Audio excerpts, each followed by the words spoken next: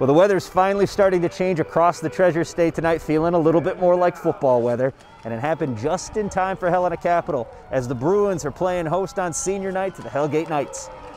After a strong defensive start for the Bruins, their offense hits the ground running.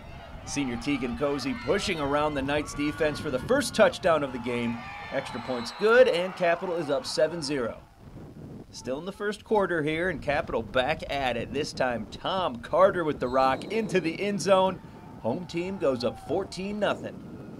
But don't sleep on the Knights' offense. And even in the wind and rain, they go to the air. Ryan Wolstead tossing it downfield, and somehow Ian Finch makes the grab. Big first down, Knights. They go right back to Finch one more time. He hauls it in just over the goal line.